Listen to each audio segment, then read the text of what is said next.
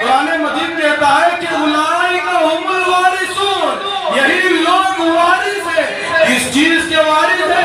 क्या प्रॉपर्टी के वारिस है? क्या बिल्डिंगों के वारिस है क्या बाप का इंतकाल हो गया बड़ी कार छोड़कर चला गया क्या उसके वारिस है बाप का इंतकाल हो गया माँ का इंतकाल हो गया वरासत में माल दौलत मिली है क्या ऐसी चीज़ के वारिस बनेंगे नहीं मेरे दोस्तों कुरान मजीद आप उठाकर पढ़िएगा आपको पता चलेगा बुजुर्गान मोहतरम अल्लाह पाक ने हम सबको ईमान की दौलत से नवाजा है। ये ईमान बहुत बड़ी दौलत भी है और अल्लाह तबारक व ताली की तरफ़ से बहुत ही ऊँची, अजीम नियामत भी है। अब ईमान तो मुझे और आपको बगैर सवाल किए के, बगैर मांगे कि अल्लाह पाक ने अता तो कर दिए।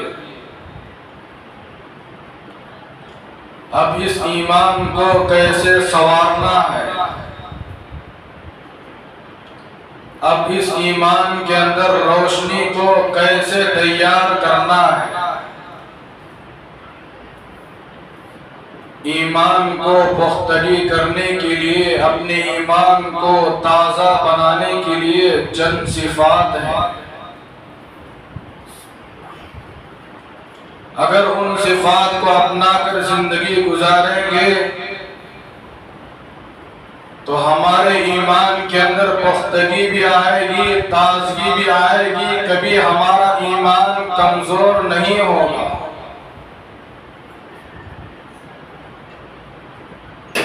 इसीलिए बुजुर्गान मोहतरम, अल्लाह तबारक व ताला ने बहुत बड़ी दौलत मुझे आपको दिया है। अगर ज़िंदगी भर बंदा अल्लाह तबारक व ताला के दरबार में सजदा रेज हो जाए, तब भी उस नेमत का हक अदा नहीं हो सकता। ये बहुत बड़ी दौलत है और बहुत बड़ी नियमत है।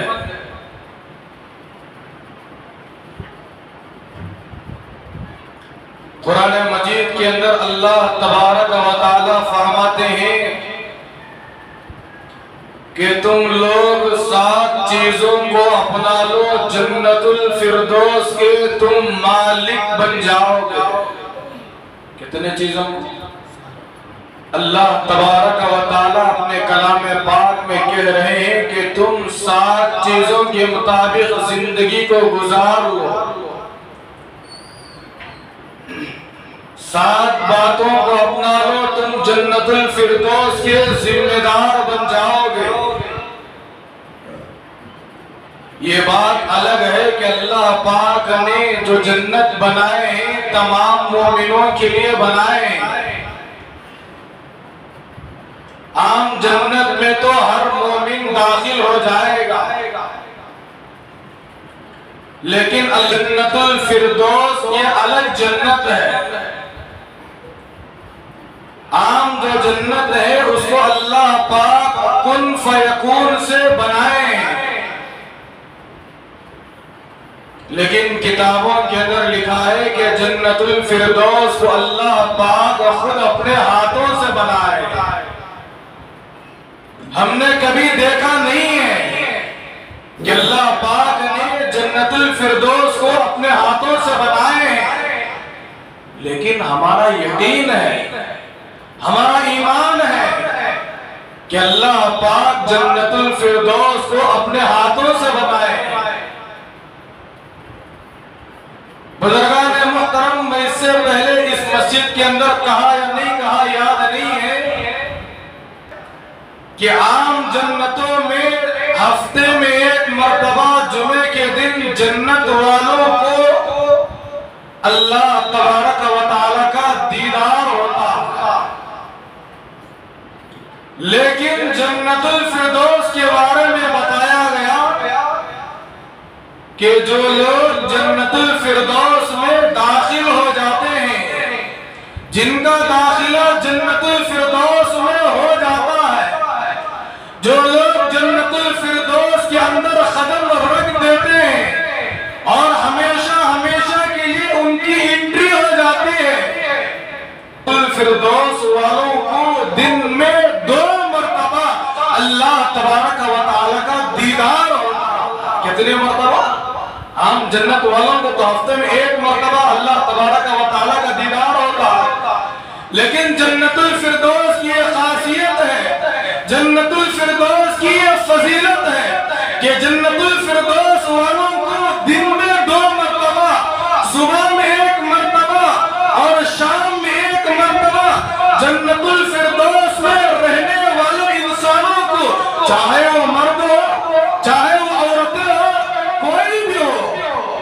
दिन में दो मरतबा जन्नतुल फिरदौस वालों को अल्लाह तबारक व तआला का दीदार होता है। मेरे दोस्तों, इससे बड़ी खुशनसीबी की बात और क्या चाहिए दुआ करें कि अल्लाह पाक मुझे आपको बगैर हिसाब और किताब के जन्नतुल फिरदौस में दाखिला नसीब फरमा।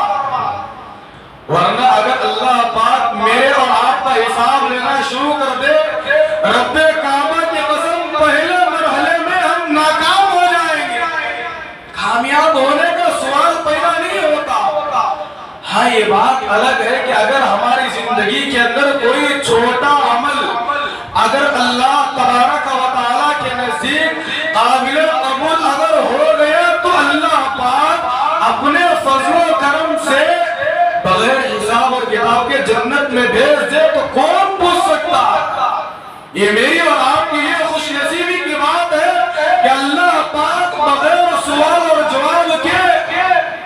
जन्नतुल फिरदौस में दाखिला कर दे ये हमारे लिए खुश नसीबी की बात है।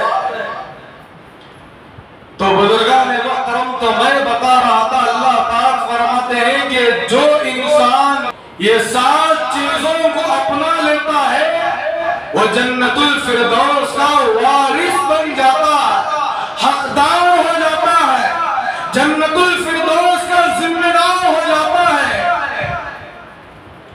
सबसे पहले पारा नंबर 18 सूरतुल मुमिनून अल्लाह तबारक व तआला का इरशाद है अऊज़ु बिल्लाहि मिनश शैतानिर रजीम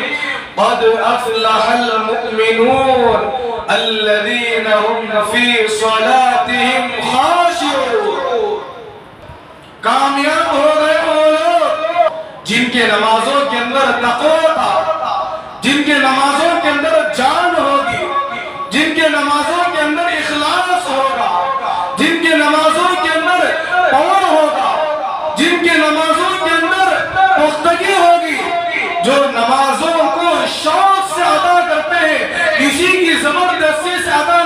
करते कुरान मजीद सबसे पहले नंबर पर नमाज़ का ज़िक्र किया है। इसलिए कि बुजुर्गान मुहतरम तमाम इबादतों में जो सबसे अफजल और अहम जो इबादत है, वो नमाज़ की इबादत है।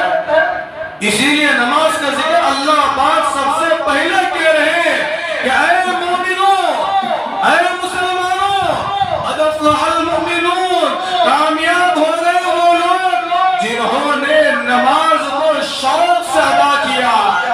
तकवे के साथ उन्होंने नमाज़ को अदा किया है। जब नमाज़ के अंदर खड़े हो गए, ऐसी नमाज़ को वो अदा करते हैं, गोया कि मेरा परवरदिगार मेरे सामने खड़ा गोया कि मेरी ज़िंदगी की ये आखिरी नमाज़ है। इसको कहते हैं नमाज़ का शौक। इसलिए कि जो बंदा ऐसी नमाज़ पढ़ता है, आइंदा आने वाली चाहे फजर की हो, चाहे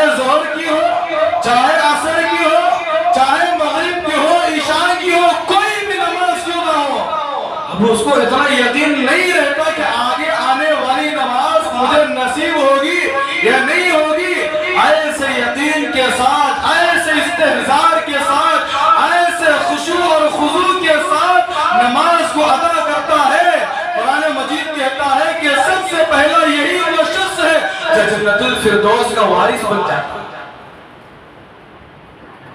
दूसरे नंबर पर आई।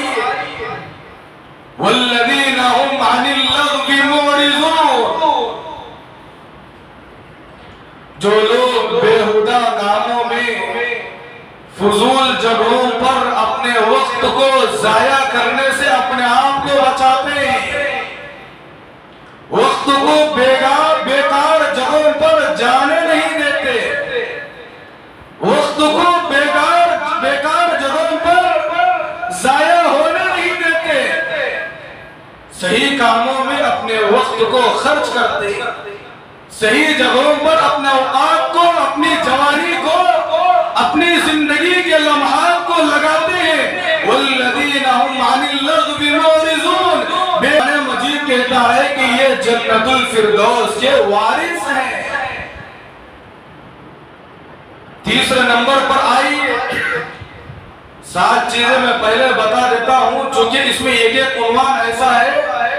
एक एक उन्वान पर एक एक जुमा अर्ज़ करना पड़ेगा।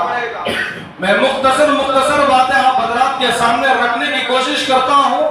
दुआ करे कि अल्लाह पाक मेरे मुख्तसर से वक्त में बरकत नसीब फरमाए। बुज़ुर्गों ने मुहतरम तीसरे नंबर पर आइए।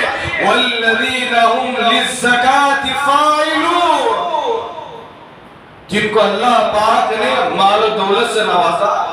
जिनको अल्लाह पाक ने साहिब जिनको अल्लाह पाक ने साहिब उसाद बनाया है, जिनको अल्लाह पाक ने देने वाला बनाया है। और जो लोग जक़ात अदा करते हैं, वक्त आने पर फ़ौरन जक़ात को निकाल देते हैं। कुरान मजीद कहता है कि यही वो लोग हैं जो जन्नतुल फिरदौस के वारिस हैं। चौथे नंबर पर आइए। वल्लज़ीना हुम लिफुरूजिहिम हाफिजून।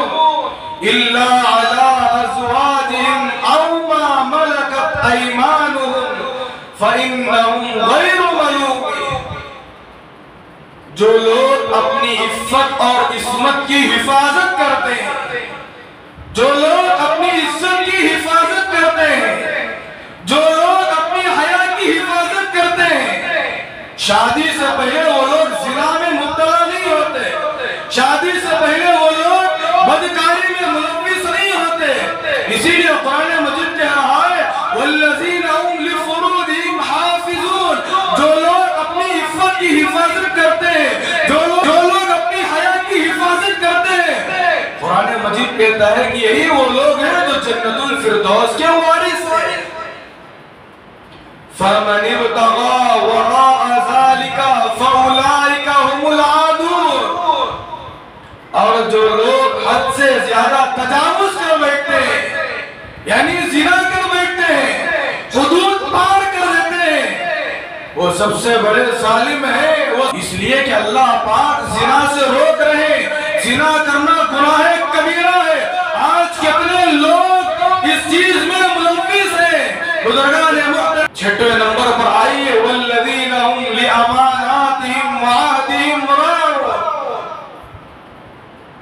और जो लोग लोग अमानतों में खियानत नहीं करते और वादे को मुकम्मल अमानत में खियानत नहीं करते हेरा फेरी का काम नहीं करते।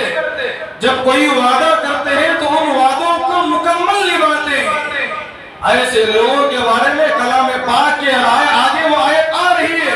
कौन कौन लोग जन्नत जन्नतुल फिरदौस के वारिस हैं? जो लोग वादों को मुकम्मल करते हैं, वादा करे तो उस वादे को तोड़ते नहीं। वादा करे तो वादे खिलाफी करते नहीं। और जो वादा करते उस वादे पर कायम रहते हैं और अमानतों में खियानत नहीं करते। सातवें नंबर पर आइए।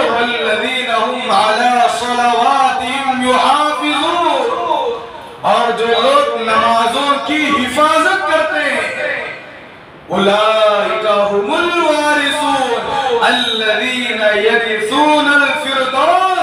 मजीद कहता है कि यही क्या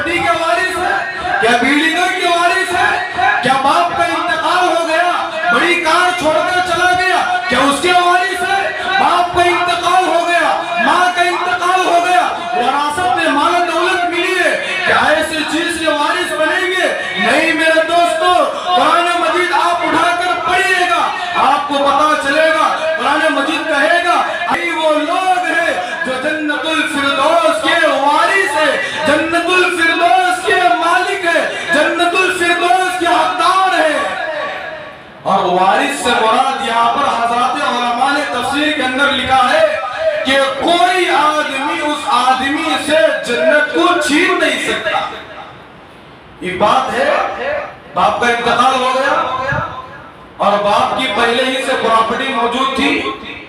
कई एकड़ों में उसकी ज़मीन मौजूद थी। अब इंतकाल के बाद मालूम हुआ कि हमारे बाप की दो एकड़ ज़मीन है, चार एकड़ ज़मीन है। अब तकसीम होना शुरू हो गया। आज का माहौल तो बड़ा खतरनाक है। मेरे दोस्तों, ताज्जुब होता है, बड़ा अफसोस होता है। बाप का इंतकाल होने के बाद अभी जनाजे को गुस्ल अभी मुर्दे को गुस्ल देकर अभी जनाजा उठाकर नहीं ले जाया जाता। उससे पहले आज के पास नौजवान ऐसे हैं जो वरासत में लड़ते हुए नज़र आते बाप का इंतकाल हो गया, बाप प्रॉपर्टी छोड़ा है। वही बाप को नहलाने के लिए तैयार नहीं है। वही बाप को गुस्ल देने के लिए तैयार नहीं है। वही बाप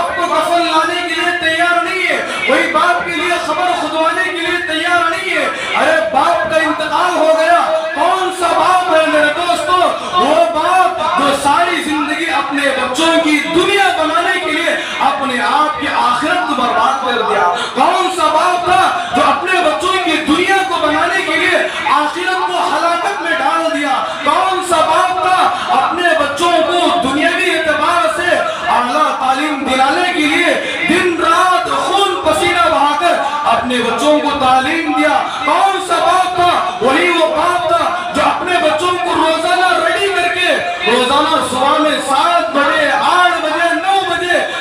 नौकरी को जाते हुए ताखिर हो जाती थी। परवाह नहीं करता था। अपने बच्चों की तालीम की फ़िक्र करते हुए आठ बजे अपने बच्चे को ले जाकर स्कूल को छोड़कर आता था। अरे आज वो बाप का इंतकाल हो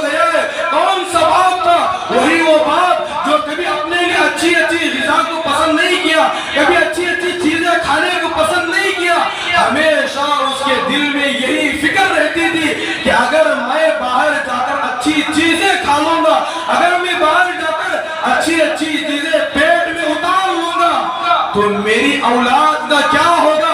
ऐसी औलाद की फ़िक्र करने वाले बाप का जब इंतकाल होता है, मेरे दोस्तों, जनाजा उठाने से पहले आज वरासत के लिए लड़ाइयाँ हो रही है। आपको यकीन नहीं आएगा, मेरी इन बातों पर कई जनाजों में हम पहुँचे हैं। इन कारगुजारी को देखकर इन हालतों को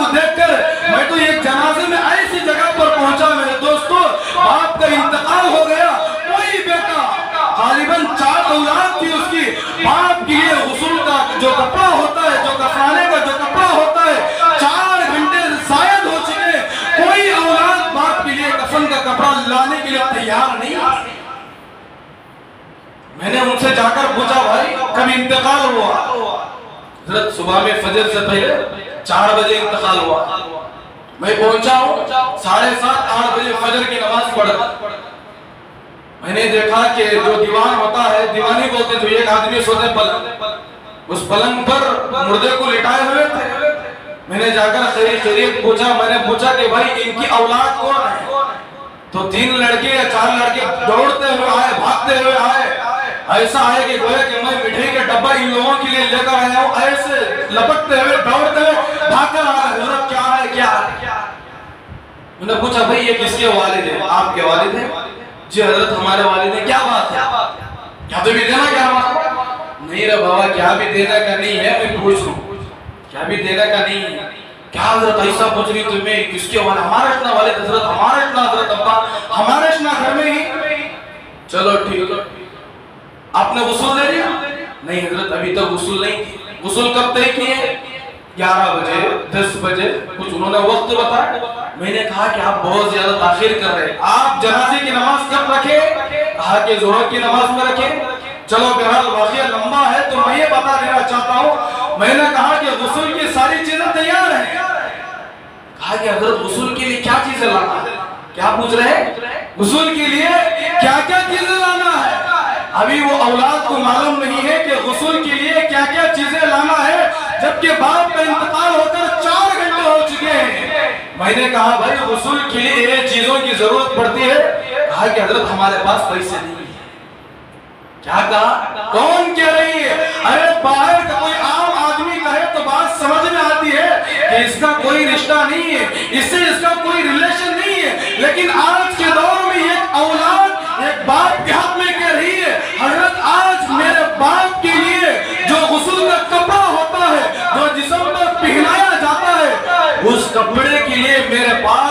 से मौजूद नहीं है। जब मैंने दूसरे लड़के से दरियाफ्त किया, मैंने कहा, भाई, आप जाकर कपड़ा लेकर के आइए। दूसरी औलाद भी ही कहने पर मजबूर हो गई, हज़रत, मेरे पास भी मौजूद नहीं है। मैं आठ दिन हो गए काम को जाको मेरा बाप आठ दिन से बिछाने का हो गया। मेरे पास दस रुपए, बीस रुपए छोड़े तो क्या भी नहीं है? मैंने तीसरी औलाद से कहा, भाई, दो भाई तो बेचारे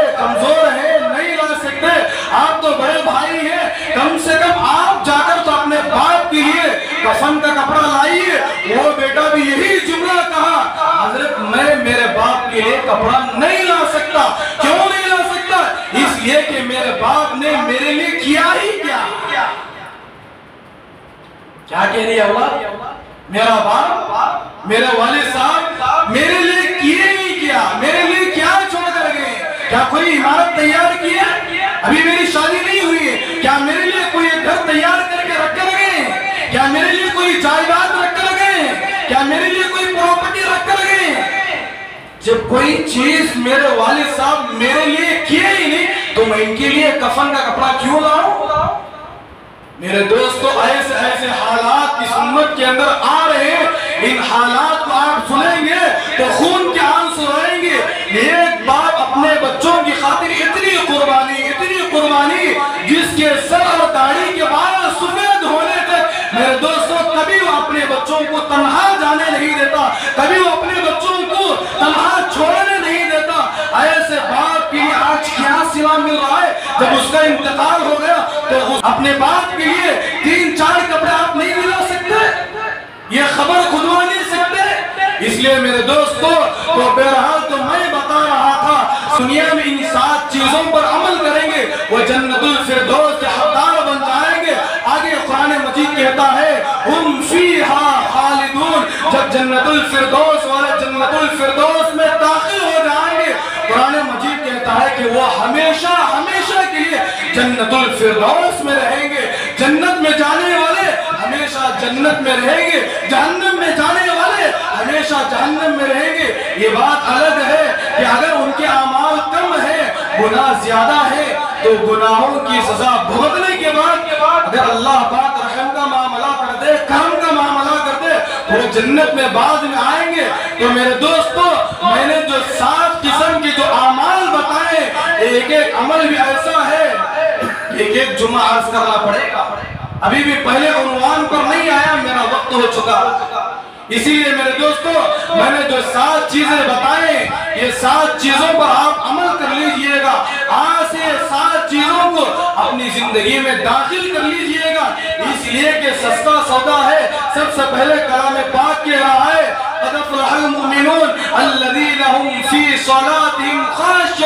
सबसे पहली चीज़ कुरान मजीद कहता है कि नमाज़ को शौक से पढ़ना। कैसे पढ़ना है?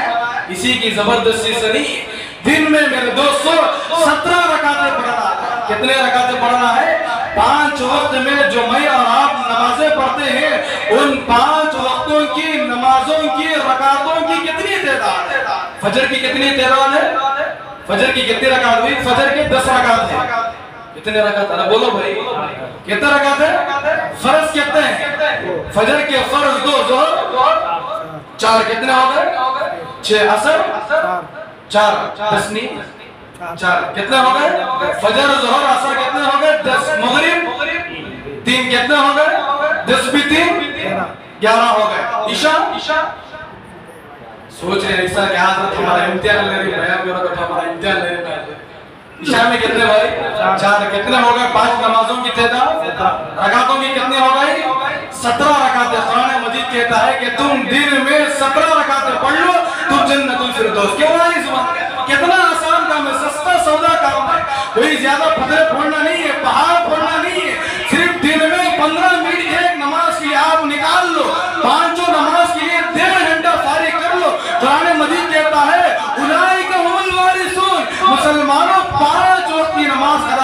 जन्नतुल फिरदौस में दाखिल हो जाओगे।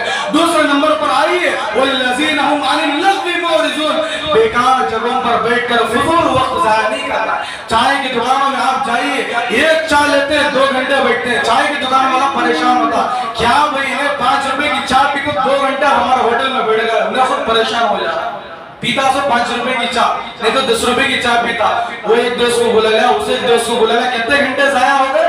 दो दो घंटे हमारे जाया हो रहे कुरान मजीद कहता है कि वो लजीन तुम वक्त को बर्बाद करोगे, वक्त की कदर नहीं करोगे, वक्त को नहीं समझोगे तो तुम तो जहन्नम में जाओगे, वक्त को बचाओगे, सही जगह पर इस्तेमाल करोगे तो तुम जन्नतुल फिरदौस के वारिस बन जाओगे। तीसरे नंबर पर आइए वल्लजीनहुम लिज़कात फाइलून।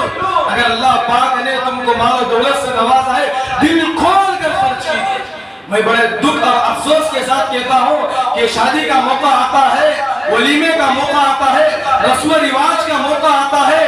और पता नहीं शादी के अंदर आज क्या क्या चीज़ें चल रहे हैं, मुझे तो नहीं मालूम। हमारे से ज़्यादा आप लोगों को मालूम है, जैसे ही शादी के बातें सामने आते हैं, शादी के तकाजे सामने आते हैं, आदमी बगैर सोचे, बगैर समझे के लाखों रुपए खर्च कर रहा है। अरे बात सही है कि गलत है? सोचता भी नहीं, समझता भी नहीं।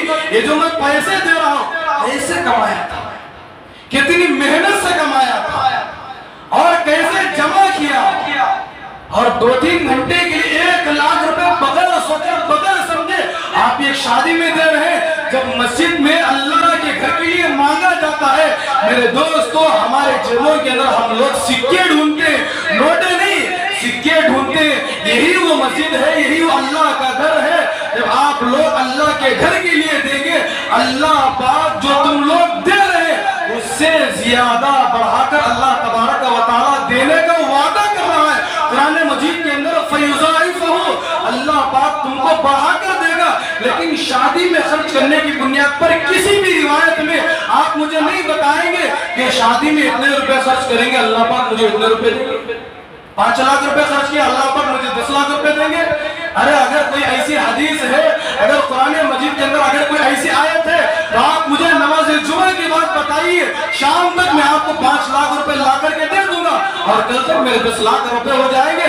इससे बड़ा ऑफ़र मेरा और आपके लिए क्या हो सकता है? इसलिए मेरे दोस्तों, दिल खोल कर वो नदीन जिनको अल्लाह पाक ने साहिब निसाब बनाया है, मालदार बनाया है।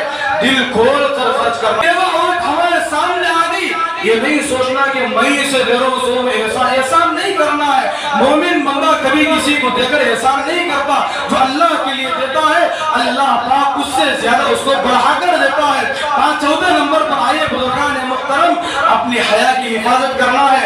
खास तौर पर नौजवानों से मैं दरखास्त करता हूँ अपनी जवानी में अपनी इज़्ज़त और इसमत की हिफाजत करना है, अपनी हया की हिफाजत करना है। ये गर्लफ्रेंड ये बॉयफ्रेंड ये कल्चर मेरे दोस्तों, ये वक्ती तौर पर मज़ा है।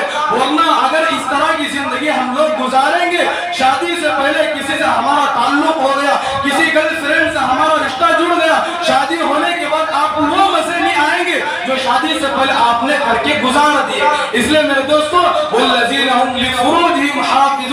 अपनी इज़्ज़त और इस्मत की भी हिफाजत करना है। पाँचवें नंबर पर अगर कोई आदमी वादा करता है, उस वादे को मुकम्मल निभाना है। वादा खिलाफी नहीं करना है, अमानत में खियानत नहीं करना है। मुहतरम नमाज़ की हिफाजत करना है। नमाज़ की हिफाजत करने का मतलब क्या है? मतलब ये है कि फजर की आसान हुई मेरे जिम्मे है, फजर की नमाज़ पढ़ना है पढ़ना है। ये नमाज़ की हिफाजत करना है। ये सात किस्म के जो चीज़ें हैं, जो इंसान इन सात चीज़ों पर अमल कर लेता है, वो जन्नतुल फिरदौस का मालिक बन जाता है, जन्नतुल फिरदौस का हकदार बन जाता है, और हमेशा हमेशा के लिए वो जन्नतुल फिरदौस की नियमतों से माला माल होता रहेगा। कुरान मजीद के अल्लाह पाक कहते हैं, वो सवाहुम रब्बुहुम तहूरा जन्नतुल फिरदौस में दाखिल होने के बाद उसको शराबन तहूरा यानी जन्नतुल फिरदौस की पाक शराब उसको पिलाई जाएगी। अलगल बुजुर्गान मुहतरम, कभी वक्त मिले तो एक एक उन्वान पर रोशनी डालूँगा। बस अल्लाह तबारक व तआला से दुआ फरमाए, अल्लाह पाक मुझे और आपको ये सात चीज़ों पर अमल करते हुए मुझे और आपको जन्नतुल फिरदौस में बगैर हिसाब और किताब में अल्लाह पाक जन्नत में दाखिल अता फरमाए। अल्लाह पाक मुझे और आपको पुल सिरात पर से गुजरना हमारे लिए आसान फरमाए। अल्लाह पाक मुझे और आपको दुनिया में रहते हुए गुनाहों से बचकर और नेक अमाल करते हुए अल्लाह तबारक व तआला को राज़ी करते हुए, अल्लाह के रसूल सलाम की सुन्नतों पर चलते हुए ज़िंदगी को गुजारने के हम सबको तौफीक अता फरमाए। आमीन व आखिर दावाना अनिल रब्बिल आलमीन।